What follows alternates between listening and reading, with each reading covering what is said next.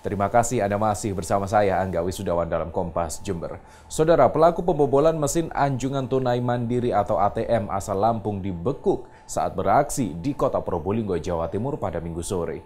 Aksi ini diketahui setelah petugas vendor ATM menemukan banyak uang tersangkut dalam mesin ATM selama tiga hari terakhir.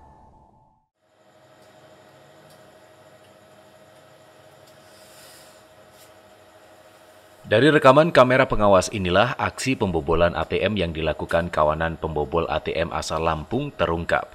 Mereka pertama kali membobol ATM di Jalan Raya Lumajang. Dua pelaku masuk ke dalam ATM lalu mereka mengeluarkan sebuah alat pencongkel untuk menguras uang dalam mesin ATM. Aksi ini terungkap setelah vendor menemukan uang tersangkut di lima mesin ATM berbeda sejak tiga hari terakhir. Petugas vendor bersama polisi kemudian mengawasi ATM di Jalan Ahmad Yani Mayangan. Usaha tersebut pun membuahkan hasil. Setelah satu jam menunggu, tiga pria yang mengendarai minibus datang ke ATM.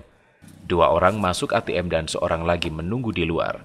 Polisi langsung menyergap mereka, namun sayang, dua orang pelaku berhasil melarikan diri. Polisi hanya berhasil menangkap satu pelaku, yakni SG, warga Provinsi Lampung. Dari tangan pelaku, polisi menyita uang 10 juta rupiah mobil R3, dan alat penjepit uang. Dugaannya ada tiga, satu orang yang sudah berhasil diamankan. Modusnya?